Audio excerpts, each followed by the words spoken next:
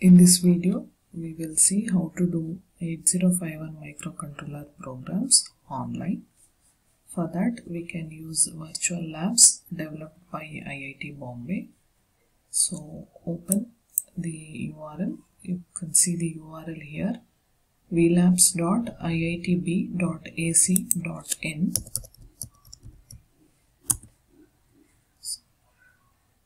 So this is the VLab developed by IIT Bombay. In this, click on VLabs developer. Then here, click on Explore Labs. Then Approved Labs. So these are the different labs which are developed. Then here you can see the Electronics and Communications branch. Under that you have 8051 microcontroller. Click on this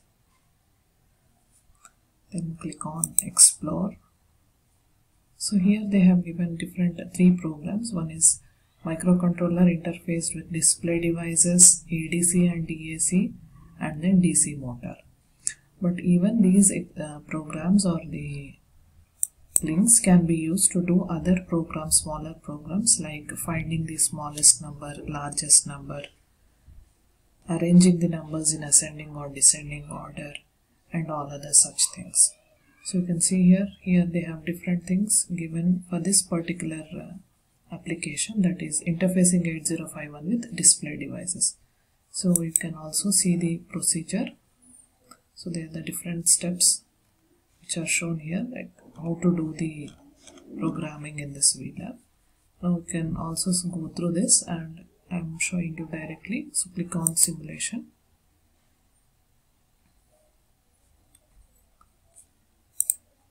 so you can see here. So this is the editor where you can type your program and this is where you can see the output on a 7 segment display because this application is or this is the program for interfacing microcontroller with display devices. Otherwise simple programs like finding the largest and smallest number and other things also can for such things also this can be used so when, when you write the program and execute it, you can see the corresponding changes in the values of registers and the memory locations which are shown here.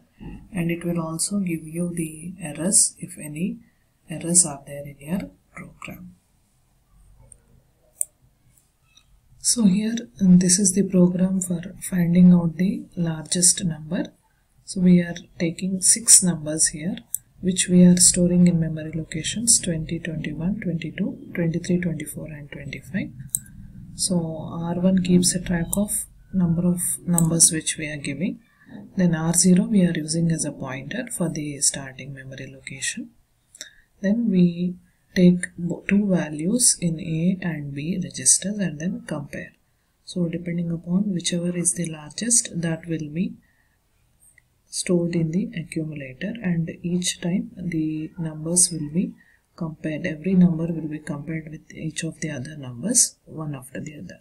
So once you write the program you have click on debug and you can also see the corresponding changes here. And it will show even the line by line execution. So let us start executing the program. Click on debug. So you can see here the value in r1 is changed to 6 then next R0 is 20H. So here the R0 memory location is 00. So in that 20H is saved. And we will go to memory location 20. You can see here that 20, 21, all these memory locations have values 0. And here when you click debug, you can also see the corresponding line which is being executed. And it is highlighted in a different color so let us start again executing. See 20h see now the value in memory location 20h is 4 so you can observe the corresponding changes here along with the execution here.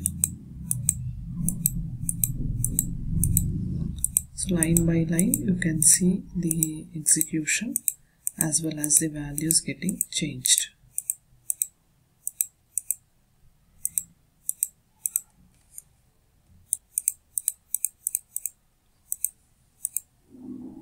So here right now 7 and 5 are there in A and B. So it will compare and it will go to this up label where it is written if there is a carry jump down because there will be no carry because the value in A is greater than B. It will simply go to increment. So in this way it will compare all the values and you can see that the largest number among the given numbers is 8 here so that 8 is moved to accumulator now. And this is the end of the program execution. So the largest number is now in accumulator A.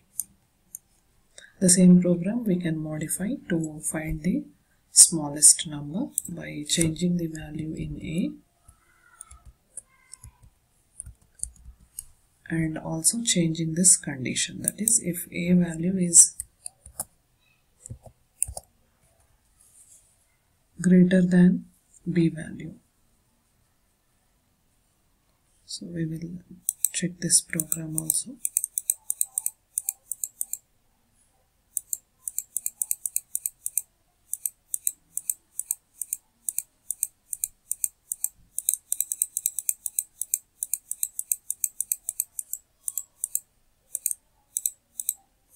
by the end of the execution, the smallest number that is 1 is now stored in accumulator. So in this way you can do the simple programs of microcontroller online using this VLABS.